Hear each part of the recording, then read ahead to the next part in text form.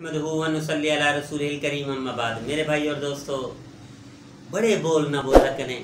بڑے بول جو بھی بولتا ہے اللہ اس کو دنیا میں سزا دے کر رہتے ہیں۔ میں آپ کو ایک بچپن کا قصہ سناتا ہوں۔ ہمارے علاقے میں کشتیوں کا میلہ لگتا تھا۔ لوگ کشتیاں، پہلوانوں کی کشتیاں کرتے تھے۔ میرا جو ایک صاحب نے دعویٰ کر دیا۔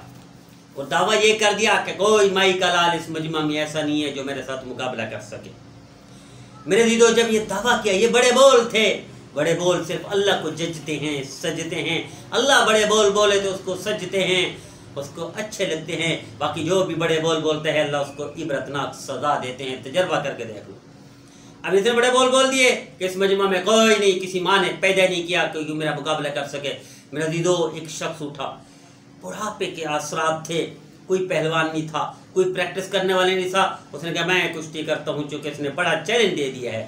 میرا دیدو ایک سے ڈیڑھ منٹ کے اندر اس نے ایسا دو لگایا کہ اس کو اٹھا کے پٹک کے مارا اور اٹھایا اس نے۔ جو لنگوٹ منگوٹ پہنا ہوا تھا، وہیں پھاڑ کے مجمع کے سامنے ننگا ہو کے توبہ طیب ہو گیا کہ آج کے بعد نہ میں کشتی لڑوں گا، نہ میں بول بولوں گا۔ ایسا شرمندہ ہوا کہ اپنی کشتی بھی چھوڑ گیا۔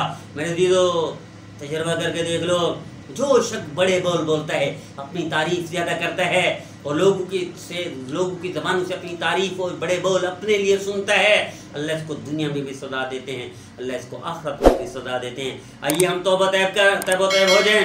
صرف اللہ بڑا ہے اور بڑے بول اللہ کو ججتے ہیں۔ ہم آج کے بعد کوئی بڑے بول نہ بولیں، ورنہ اللہ سزا دیتے ہیں۔